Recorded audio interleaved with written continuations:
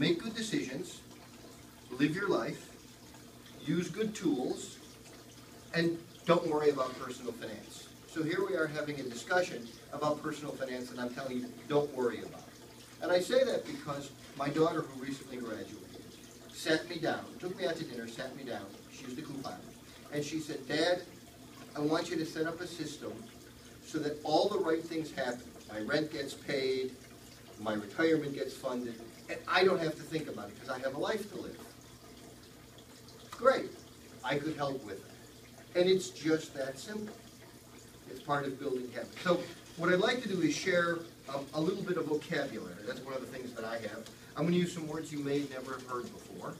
So stop me if you need more clarifications. Um, price and value. Okay? So there's an old expression, price is what you pay, value is what you get.